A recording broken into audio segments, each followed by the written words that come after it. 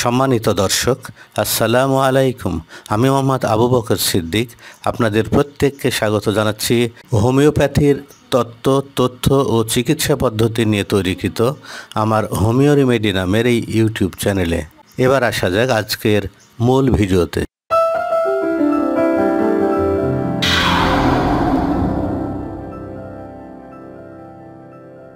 সম্মানিত দর্শক homeopathy medicine review পর্বে আজকে আমরা যে ওষুধটি নিয়ে কথা বলব, সেটি হলো সাইলেসিয়া।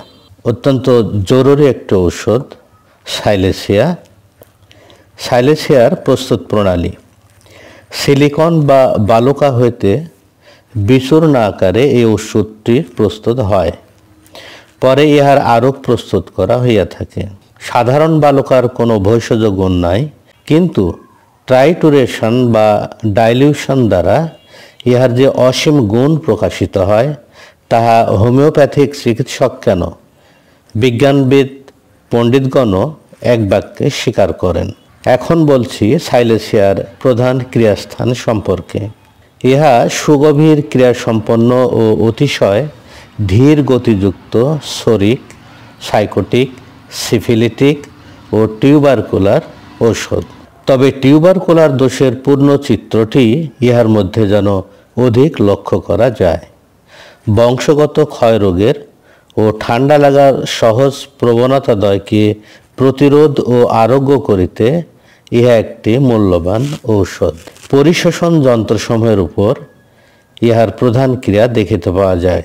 ইহার ফলে পরিশোষণ ব্যাঘাত হইয়া থাকে ও সেজন্য শরীরের বিধান তন্তু শ্লেষ্মিক ঝিল্লি, গ্রন্থিসমূহ ও সন্ধিস্থান সকল আক্রান্ত হয় এবং দেহবিধানের বিকৃতি ঘটিয়া অস্থি সকলের কোমলতা ও গণ্ডমালার মতো লক্ষণ উৎপন্ন হয়। এবারে বলব সাইলেসিয়ার চরিত্রগত লক্ষণ সম্পর্কে।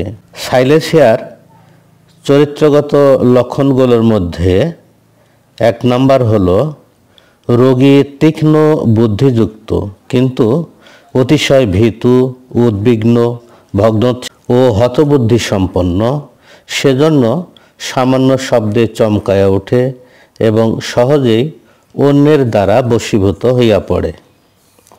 নাম্বার দুই, প্রথম কার্যারম্ভের পূর্বে অতিশয় ভীত হয়, কিন্তু কার্যটি কোনো মতে একবার আরম্ভ করিতে পারিলে বেশ সুচারুরূপে সম্পন্ন করিতে পারে।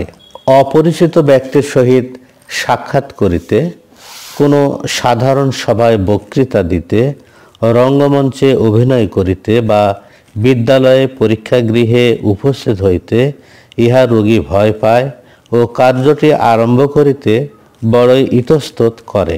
নাম্বার তিন, ইহার একটি অদ্ভুত মানসিক লক্ষণ এই যে, আলপিন ছোট ছোট পেরেক বা কোনো প্রকার সুচালু বস্তু, এমনকি মাছের কাটাকে পর্যন্ত ইহার রোগী অতিশয় ভয়ের চক্ষে দেখে।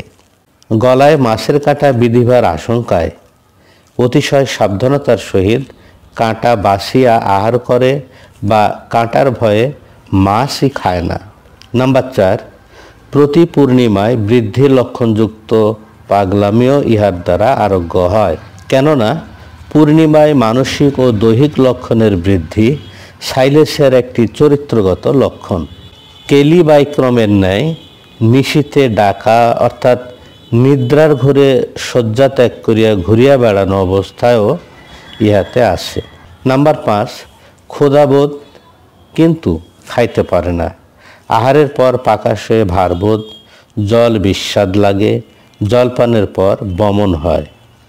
নাম্বার ছয় মাথায়, কানের পাশে, হাতে, পায়ে, বগলে দুর্গন্ধযুক্ত ঘাম পরিলক্ষিত হয়।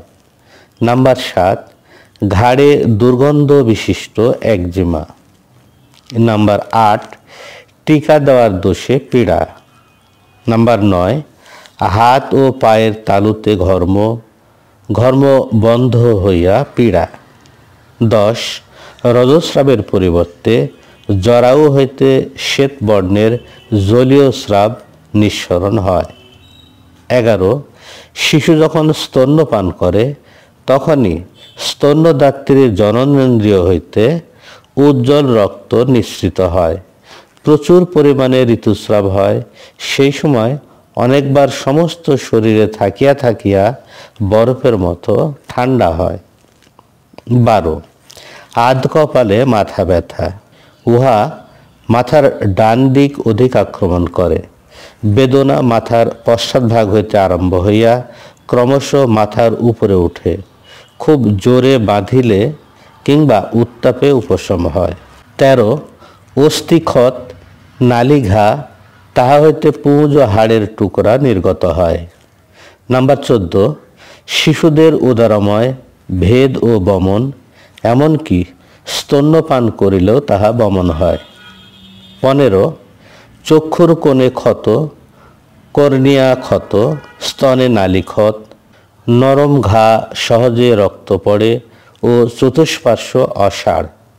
নালিক্ষত তাহা হইতে তরল, দুর্গন্ধময় হরিদ্রা বর্ণের রস নিঃসৃত হয়। এবং নাম্বার ষোলো, শরীরে কাঁটাবিদ্ধ হইলে বন্দুকের গুলিবিদ্ধ হইলে সাইলেসিয়া সেবন করিতে দিলে উহা বাহির হইয়া যায়। হিপার সাল্প অবশ্য উক্ত দ্রব্য বাহির করিয়া দিতে পারে। এবারে বলব, সাইলেসিয়ার বৃদ্ধি। প্রতি পূর্ণিমায় ঠান্ডা বাতাসে অমাবস্যার পর টিপিলে মাথাটি অনাচ্ছাদিত রাখিলে স্তন দুগ্ধে ও গোদুগ্ধে মাসিক ঋতুস্রাবের সময় ডান দিকে চাপিয়া শুইলে এর বৃদ্ধি ঘটে। যে কোনোভাবে শয়নে, ঊর্ধ্ব দিকে চাহিলে স্নানে পায়ের ঘাম চাপা পড়িলে শব্দে, স্পর্শে, সঞ্চালনে মেরুদণ্ডে সামান্য আঘাত লাগিলে স্নায়বিক ও মানসিক উত্তেজনায় রাত্রিকালে জলবায়ু পরিবর্তনে এর বৃদ্ধি ঘটে। উপশম আচ্ছাদিত অবস্থায় চাপনে, বিশ্রামে, গরমে, উষ্ণ পানে, গৃহমধ্যে প্রচুর প্রস্রাবে, গ্রীষ্মকালে এবং আর্দ্র আবহাওয়ায় এর উপশম পরিলক্ষিত হয়। সাইলেসিয়ার ক্রিয়াস্থিতিকাল। এর ক্রিয়াস্থিতিকাল চল্লিশ থেকে ষাট দিন। সাইলেসিয়ার শক্তিক্রম। তিরিশ হইতে দুশো শক্তি। তিরিশ শক্তির নিচে কখনো ব্যবহার করা উচিত নয়। উচ্চ হইতে উচ্চতম যে কোনো শক্তি প্রায়ই প্রয়োজন হয় ও সুন্দর কাজ করে। সম্মানিত দর্শক, সাইলেসিয়া নিয়ে এতক্ষণ সংক্ষিপ্ত আকারে কিছু কথা হলো। আপনারা এ ধরনের যদি আরও বিভিন্ন ঔষধের, হোমিও ঔষধের রিভিউ যদি জানতে চান তাহলে এই চ্যানেলে আরও কয়েকটি ওষুধের রিভিউ দেওয়া হয়েছে, আপনারা সেগুলো দেখে নিতে পারেন। সবার শুভকামনায় আজকের মতো এখানে শেষ করছি। সবাই ভালো থাকবেন। আল্লাহ হাফেজ।